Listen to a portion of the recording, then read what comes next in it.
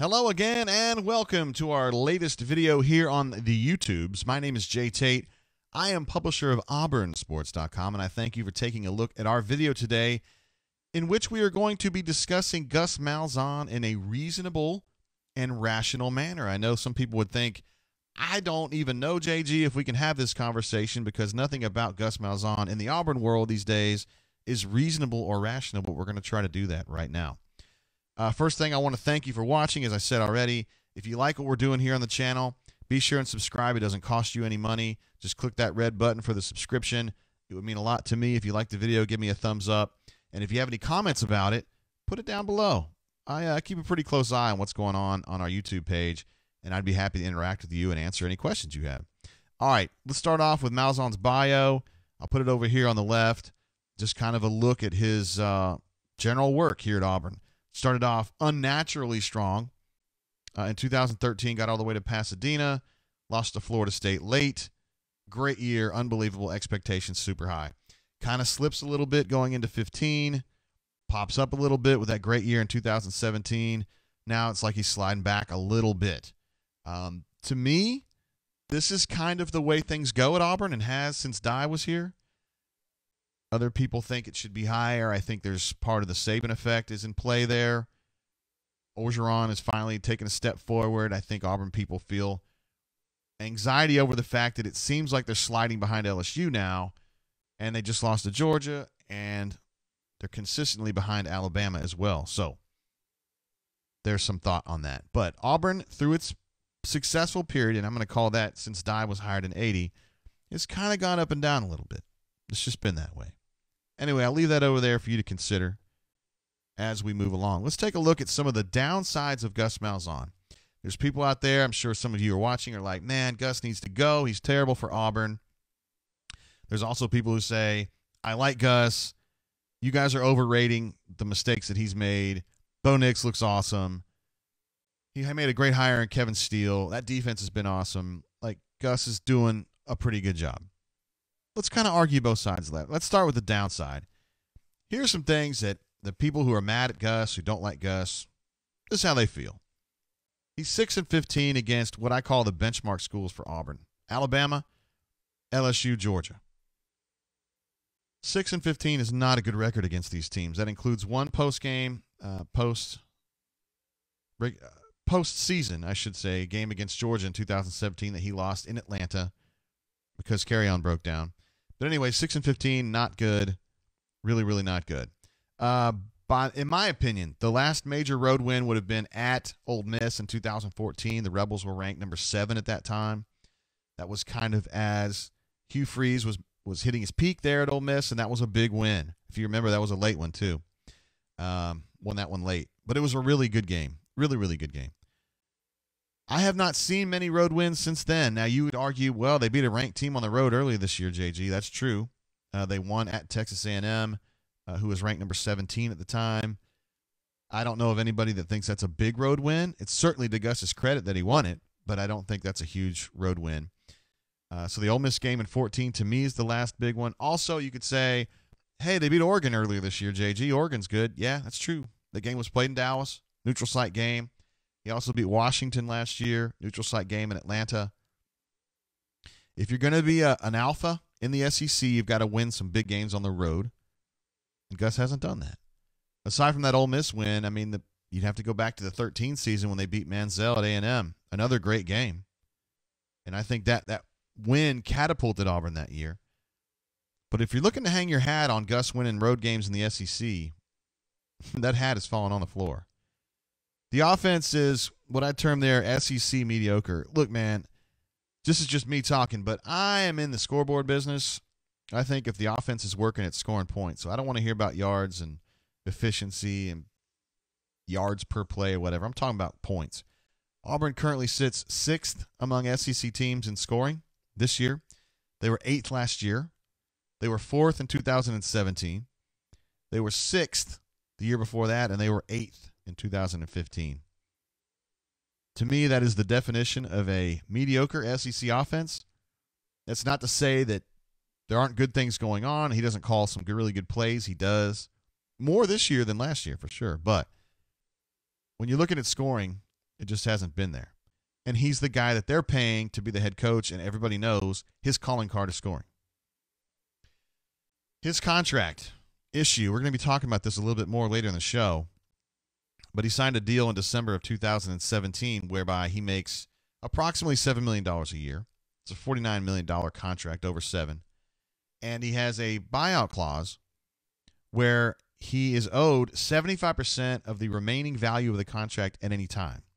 So if they fire him today, they owe him 75% of what they still owe him on the contract, which at this point would be about between 26 and 27 million dollars. Last year was more like, you know, low 30s. It's a lot of money. And it affects things. I think the contract bugs people more than Gus bugs people, if that makes sense because they're so infuriated that they feel stuck with a guy who's not winning the big games. If that buyout was more like 5 million or 10 million, it wasn't such an albatross. I just wonder if anxieties would be eased a little bit on that. A lack of charm. A lot of people say, I don't care, just win football games. I get it. And when he was winning a lot of football games, nobody cared about his lack of charm. But at this point, he's a solid but unspe- unspectacular coach, and he doesn't have that persona that makes people love him. He just doesn't have a lot of endearing qualities person to person. Now, I kind of know him better than your average Joe, so to speak, just because I've worked with him so long, and I happen to like Gus a lot. He's a good dude, and he is funny, and he has a sense of humor.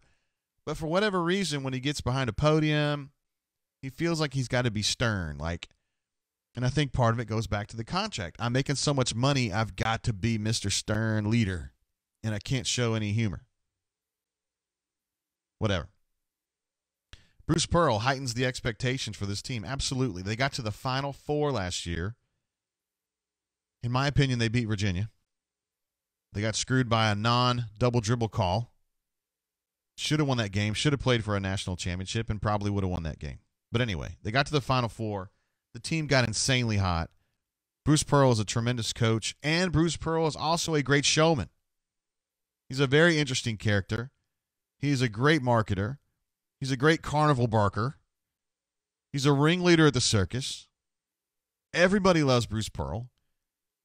Everybody thinks that, hey, if basketball, which was absolutely awful here six years ago, if Bruce Pearl can come in here and take that god awful program and turn it into a Final Four, and by the way, the team is really dirty this year too, and they're recruiting at an insanely high level. Gus can't even get us to uh, to Atlanta. I'm not saying it's right. I'm just saying Bruce's success has definitely affected the way people think about football because they're like football should be our bell cow, and it's not, and it's pathetic and also Pearl's personality. He's just so loved. And then you look at Gus and you don't see it. The last one here is for people that really pay attention to the team really closely. I don't think neutral observers really care, but uh, development issues at quarterback and offensive line, man, outside of Nick Marshall, and Gus deserves a lot of credit on Nick Marshall. And I also want to say about Nick Marshall 10 years from now, 20 years from now, I think people who don't even remember him now are going to look back and say, damn, that guy was really good. Nick Marshall was insanely good. I don't think he gets appreciated the way that he should. Anyway, aside from Nick, I don't know as though he's had a quarterback, Gus, that he has gone out, handpicked, developed himself, and made a better player. Jarrett Stidham regressed at Auburn. And before that, it was kind of messy. I mean, Sean White was not a very good player. Now he's got Bo Nix now, and I happen to think Bo Nix is going to be an absolute stud. He's just super young, and you can see him getting better in tangible ways. He managed the Georgia game a whole lot better than he did the Florida game and the LSU game. He missed the throw at the end, but Bo Nix is really good.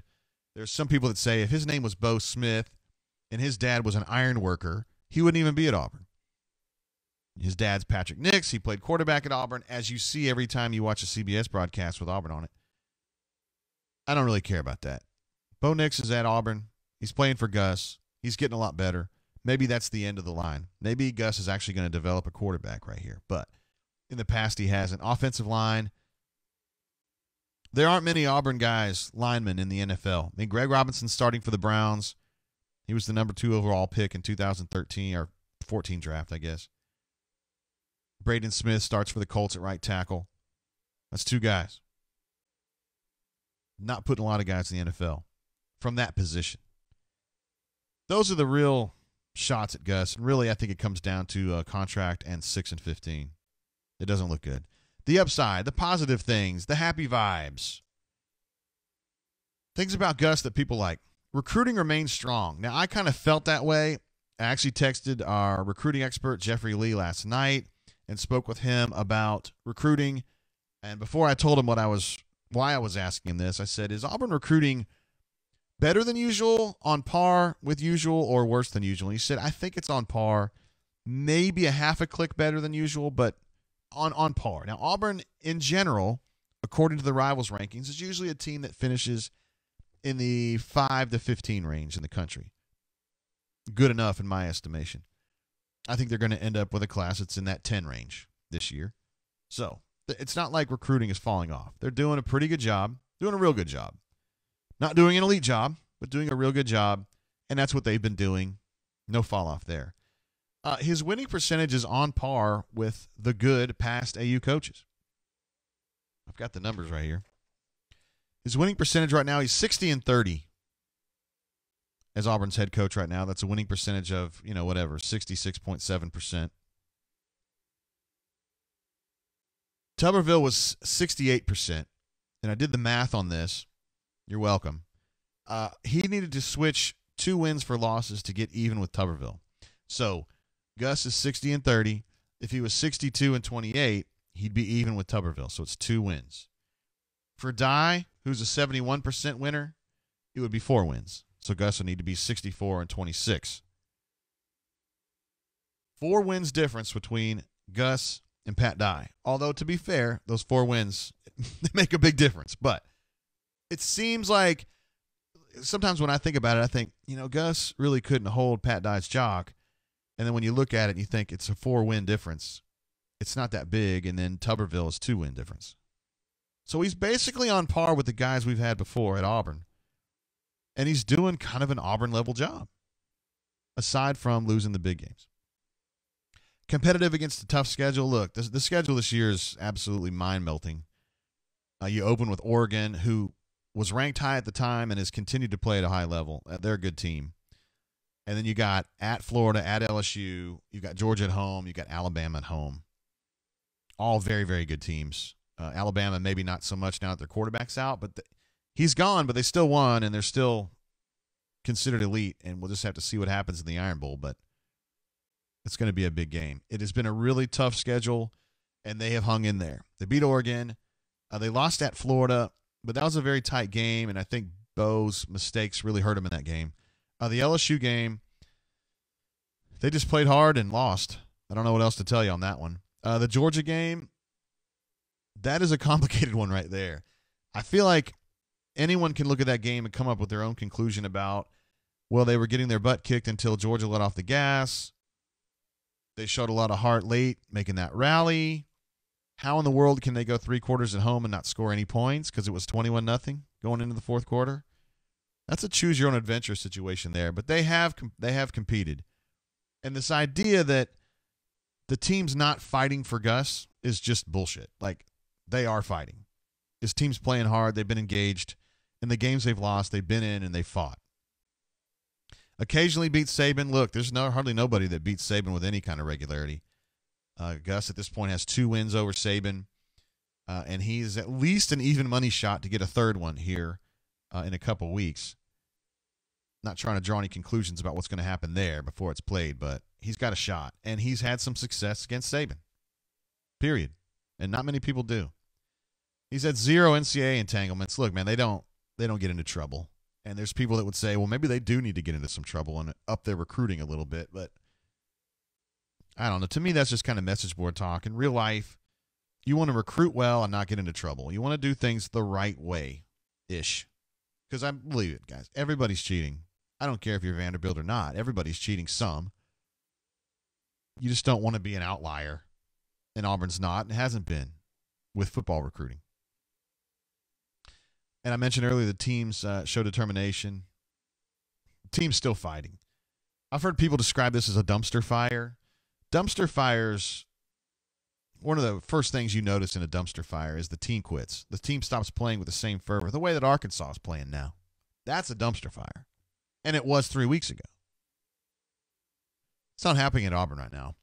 And also, Gus is still a good play caller. I have been surprised, honestly. And I was skeptical of his play calling. I told him to his face. I didn't know if he still had it. And I thought the play calling has been really good this year. It's been smart. And he has adapted as the season's gone on. Dude, they threw 50 passes against Georgia because finally Gus realized in his head that his run game wasn't going to get it done against Georgia. He assumed that. I mean, he thought that was going to happen. He tried it, didn't work. And so he went to a different plan. And ultimately, it yielded some pretty impressive results late. You say, well, Georgia was playing zone and chilling out. Yeah, for the first touchdown, you're right. The second touchdown, they were pissed. And the third, what could have been a third touchdown drive, Georgia was panicked. I think the play calling's been really good, and I think Gus has really shown a lot of people, quieted some people, me included, that he can still do it on the play calling front. They've been good this year. So he's still got it as far as that goes. The next thing I want to talk about are the dynamics of getting rid of Gus Malzahn. This stuff is not easy to do regardless of who it is. If the team's like if the team quits and it's flatline at Arkansas, it's easy. You say, dude, it's over. But that's not what's going on at Auburn. And so I want to kind of explain for people how you would even fire Gus if you were doing it. Taking a look at the way it worked in 2018. So this was a situation I wrote about it a lot last year. Gus barely got out last year. They almost fired him. There was a group here, and I try to draw these to scale these boxes you had a group of anti-Gus observers, people that just thought he was trash and wanted to get rid of him, that he was just bad for Auburn, he was taking the program in a bad direction. On the other side, you had the anti-buyout observers. I wouldn't necessarily describe them as pro-Gus. I just think they were anti-buyout.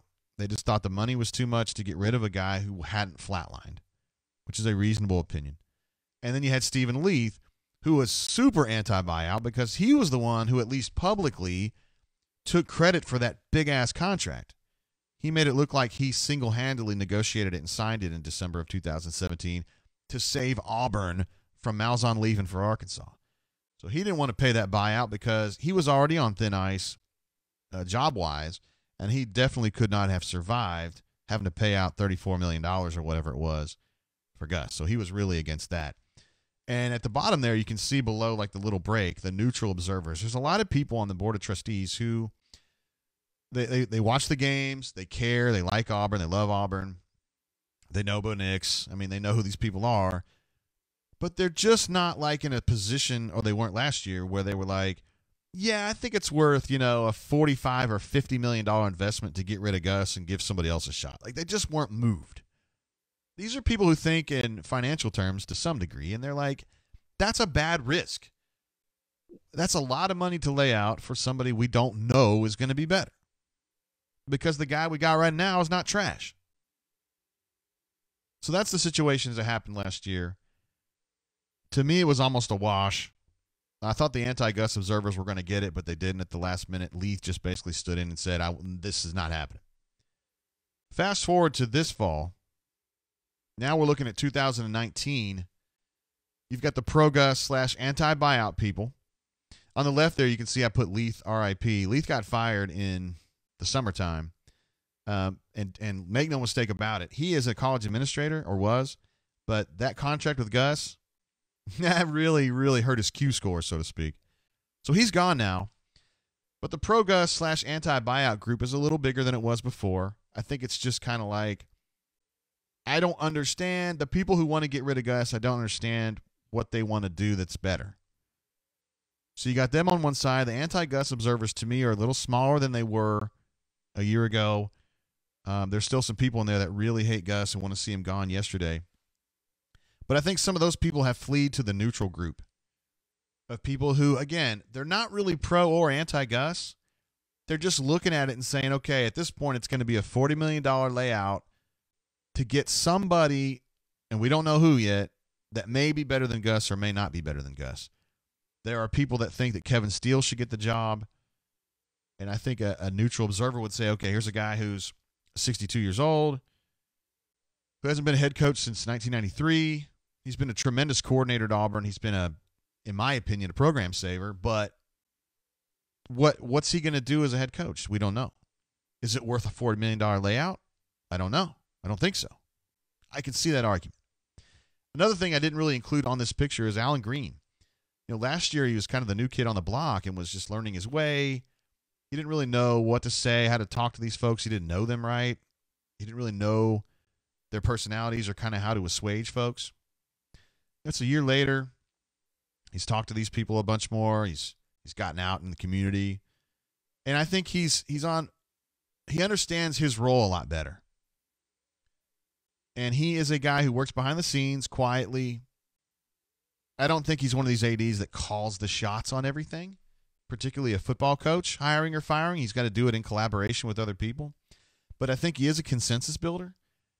And I think he's the guy who kind of walks around to people and says, okay, this is the anti Gus people.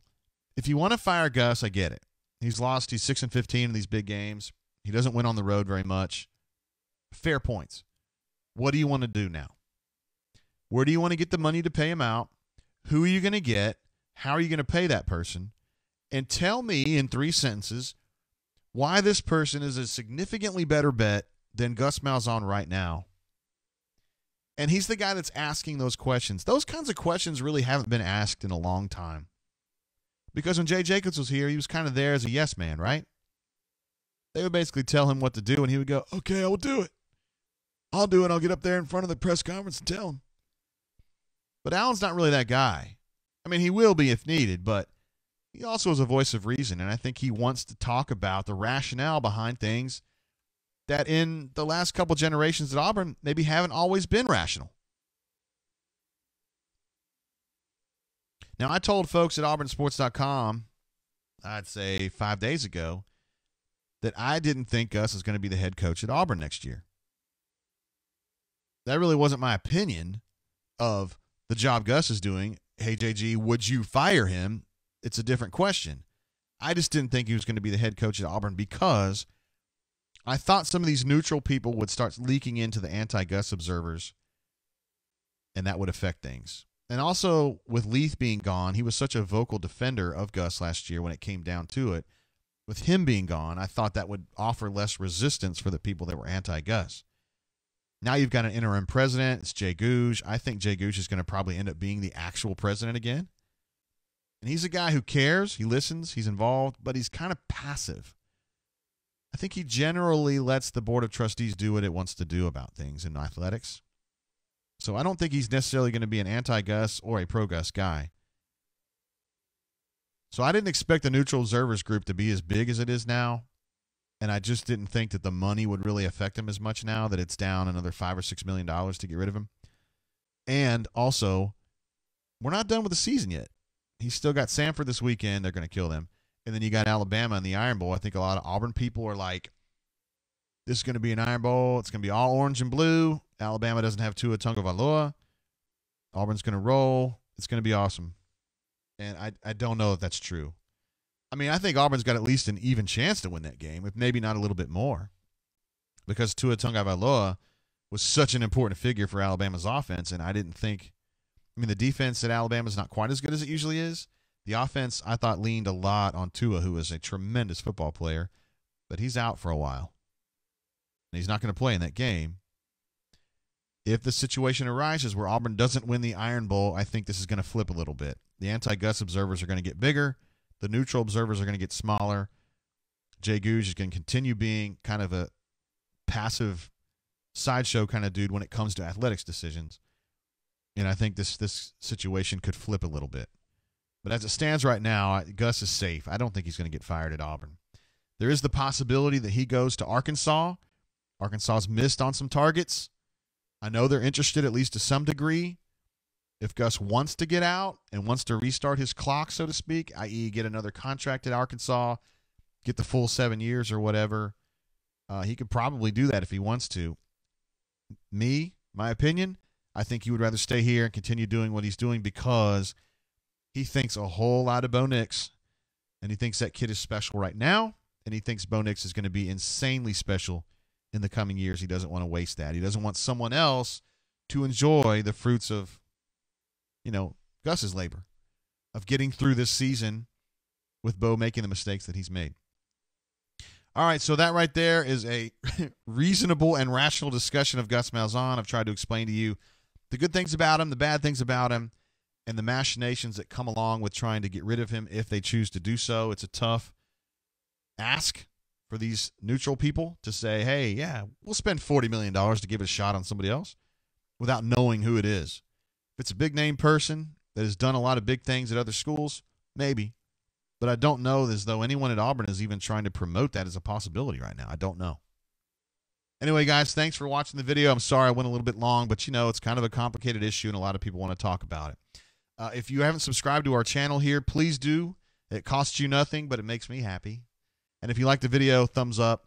Any comments you guys have in the uh, comments section, I'll definitely be reading. And if you have a question for me, I'll do my best to answer it. Appreciate you guys watching. Till we see you again, keep your feet on the ground and keep reaching for the stars.